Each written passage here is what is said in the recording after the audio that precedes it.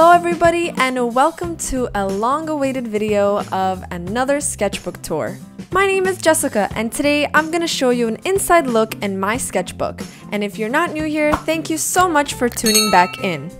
I'm super excited to share this sketchbook with you guys that I recently finished. It's a 9x12 hardcover mixed media sketchbook and I actually painted this cover myself to set a tone for the sketchbook. In my previous video, I show you guys how I actually painted this, so be sure to check it out. Since it's a mixed media sketchbook, I decided to do an octopus holding all these different art supplies. This sketchbook is my most favorite yet, so let's get started. So when you open up the front cover, I always like to write my name at the top and a welcome message to show some warm feelings as you open the sketchbook.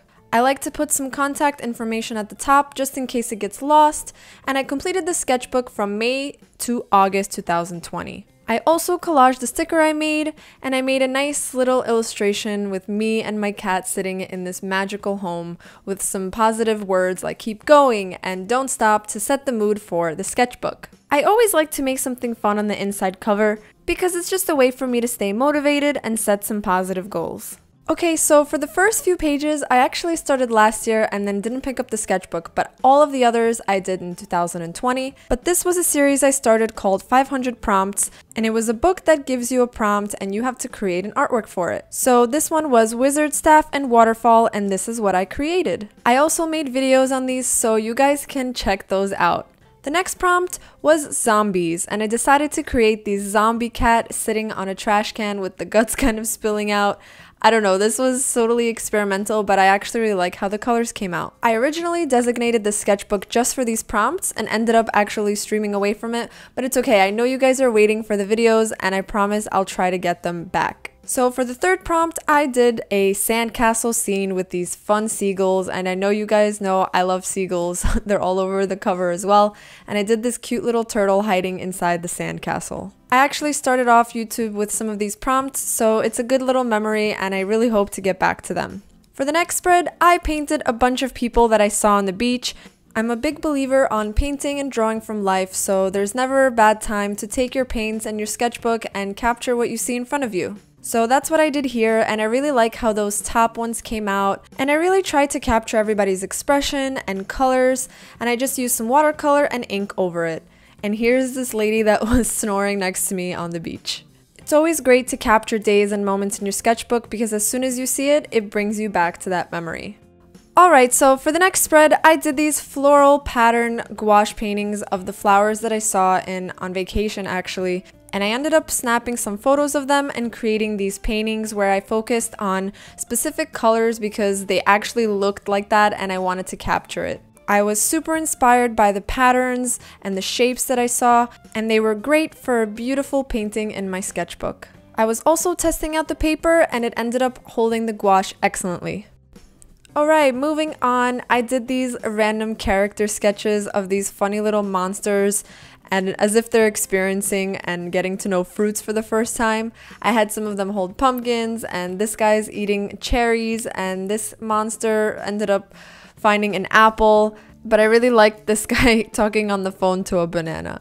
I thought it was pretty funny, and I actually realized that she's looking over to the right to the next spread where I practiced some figure drawings because I haven't in a while and I wanted to do some lighting and graphite drawing to practice light and form.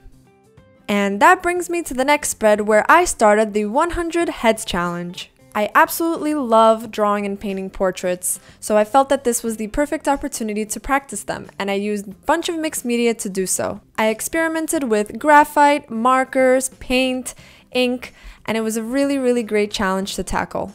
I do have a video on how I drew each and every one of these heads, so be sure to check it out and I'll have everything linked below in the description.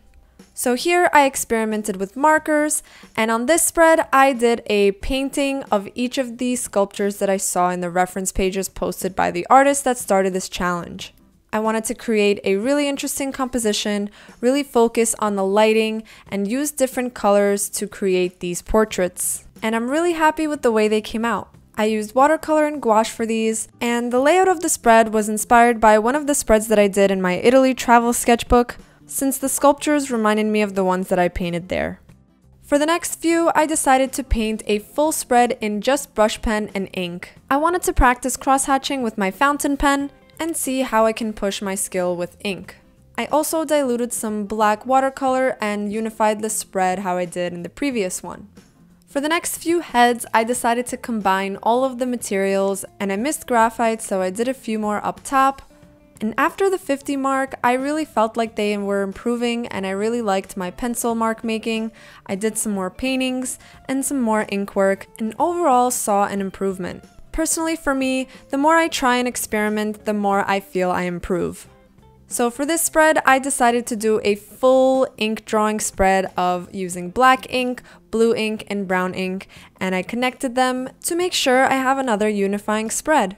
I basically chose all the goblin dudes and put them all together in a group. Here I just used a colored pencil, the Prismacolor Col-Erase, to draw out these sculptures, focusing on cross-hatching and creating a limited color palette with just the Tuscan red, which I think makes everyone's art look good, and a green color to use as complement. Moving on, I pushed myself to make these bordered paintings of the next heads, and usually you want to give up at this point, but I decided to keep going and make some paintings, which I felt were super strong.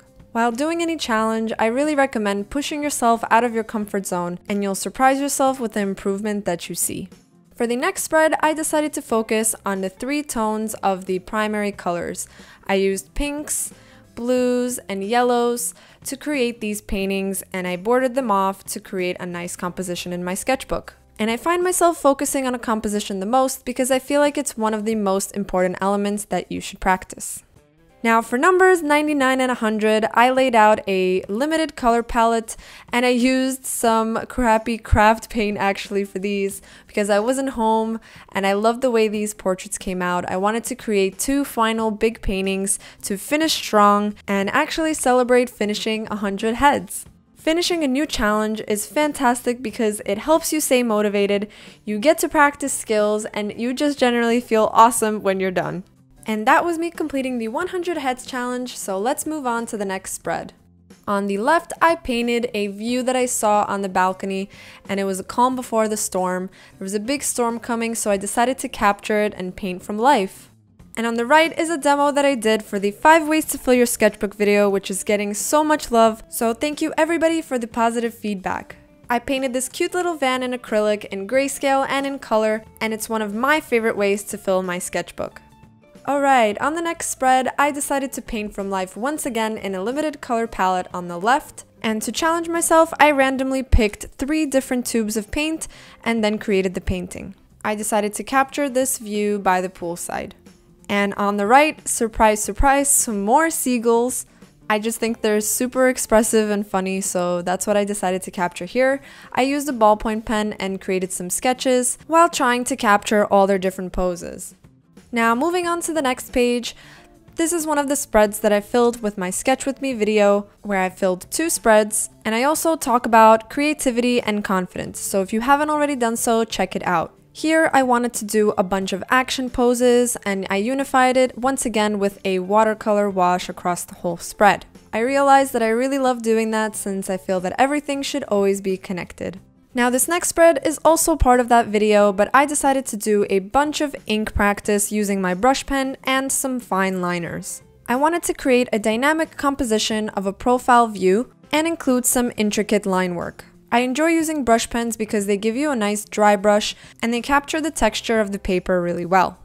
And in this spread, I did a drawing from life once more of an architectural building that I saw next to where I live, and it was great because I decided to practice some architectural perspective while incorporating some bright colors and some fun doodles that I love to do. I used gel pens to do the drawing and some Crayola markers to do the coloring. Now speaking of doodles, this is exactly what I decided to do here. I just grabbed a red ballpoint pen and sat on my balcony and doodled away. And I actually use this object in my surroundings. It's like this thing I got from Ikea. It's a hanger for the clothes to dry, and that's where this character was inspired by. Inspiration is all around us, so anytime you're feeling stuck, just look around. Alright, moving on to the next spread, I did some more painting and drawing from life. I drew some jet skis, and I did them in all these random colors, and the panoramic view of actually where they were docked I did in black, and then added a pop of color. I realized it's really hot to draw on the beach, but nothing stops me. Wherever I go, I love to capture every moment. Now, here's an illustration that I did for the Paint With Me video. And at first, I wasn't sure on what to paint, but then I just used a limited color palette and it came to me this random idea with a beautiful, soft, and warm color palette. I tried to create some concept to the piece and I also attached the palette next to it for some memories. I feel like the artist palette is a work of art of its own. Here are some more floral drawings that I did from life. I decided to do a realistic graphite drawing for these, and on the right, I decided to practice my polychromo pencils for the first time, inspired by my favorite plant that lives in my room, and I love him very much. Drawing what you love guarantees it to be that much better. Now for this next spread, I decided to practice some more portraits with graphite on the left and again color pencil on the right. I had recently just purchased the polychromo pencils and decided to try them out and I absolutely fell in love. I drew these in my first ever Q&A, so be sure to check that video out as well. I did many of my recent videos in my sketchbook, so I'll have everything linked below. Now this next spread was inspired by my double colored heads from my other sketchbook tour, which you guys could recognize. And I had a lot of fun with this one because I included some mixed media where I used colored pencils, ink, markers, and acrylic. And I absolutely love the outcome after experimenting. And towards the end of my sketchbook, I decided to finish strong with the 100 hands challenge.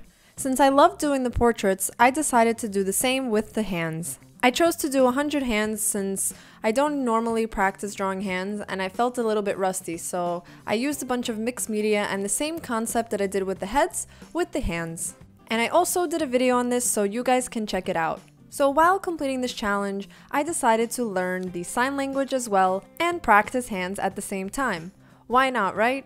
I did the full English alphabet and I also took my own references. That way, I'm really learning and practicing. I used a ballpoint pen for the alphabet and for the numbers, I used gel ink pens. I actually learned that when you sign the first five numbers, you sign them with the palm facing in. So that was awesome practice. And when you sign the other numbers, they're all signed palm facing out. I also did all the even numbers in black and all the odd numbers in navy. And many of you guys have loved these and have been asking for prints, so I will be having them out very, very soon. For the next few hands, I decided I was craving some color, so I did this colorful spread with all the hands interacting and then I unified it all together with some watercolor. I used a bunch of bright colorful markers and some watercolor paint and that way I was able to create a flowy look for this spread. I kept experimenting with different compositions, different mediums, some of the hands were interacting, and an accidental spill of paint got me to create these flame hands, and they ended up being one of my favorites. Continuing on to the next few hands, I decided to do the mudras. I used the Prismacolor Col-Erase pencils for this, and I also labeled all the gestures with their names. I found it super fun to get to know new skills and new information through drawing. I like to think of every subject as you getting to know it while you create and paint it. So I was really feeling ballpoint pens during this challenge and here I used three colors, purple, blue, and red to create some more practice sketches. I was focusing more on big shapes and general geometric lines rather than a curvy structure for the hands and I realized that that was very helpful when I was drawing. I also practiced bright limited color schemes, ones that I don't usually normally go for, and played around with different colors to see which ones looked better with the others. I was really feeling these pinks and blues and bright oranges, so that was what's happening here. And I realized that I feel like I love delicate colors and really, really bright colors, so it's usually hard to pick between the two. Having fun with these colors in your sketchbook is a great way to find out what you love best. For the next spread, I decided to do hands interacting. So I did two hands holding one another, one as like a pinky promise and the others as a handshake. And then I did some fountain pen ink drawings of hands that basically symbolize ideas or thoughts. And it's time to approach the final pages of my sketchbook where just like in the heads, I decided to do two paintings. For number 99 and 100, I did a limited color palette Once again, I did a grayscale painting in acrylic of an older man's hand and one more painting of a blue color palette of my own hand holding a paintbrush since I want to show gratitude for what helps me create. At this moment, I felt super happy and excited to finish the sketchbook, but also nostalgic because I was coming to an end with it but I was super happy to finish another 100 challenge in the sketchbook. And for the last page in my sketchbook, I decided to add a bunch of quotes that I felt spoke to me from really famous and successful creatives. Quotes and famous sayings help me stay creative, so I wanted to leave this video with some of these that helped me and I hope will help you stay motivated as well. I am super happy to have shared this with you guys, and I hope it inspired you to create some of your own masterpieces in your sketchbook. I can surely say that when you finish your sketchbook, you feel super accomplished, extremely happy, and full of joy. Although I finished this one, it's an exciting time to start another. It's also going to be great to look back at this over time and see how I progressed, and is just always a good place to get to to have fun and create. And that is all for today's video. I hope you guys enjoyed a little something that I put my heart and soul into. I also hope that it inspires you to create your own masterpieces and stay in touch with your sketchbook and stay creative. Do what feels good, draw what you love, and take time to experiment. Well, I'm really proud and happy to say that I have finished this large sketchbook. I definitely feel like I achieved all the goals that I set before starting. I created many illustrations, many drawings from lives, and two big 100 challenges. I feel super great and excited to start the next. I'd like to say thank you so much for watching once again. I will have all the videos that I mentioned and links down below in the description, so feel free to check that out for any more information and I'll see you guys in the next one. Bye!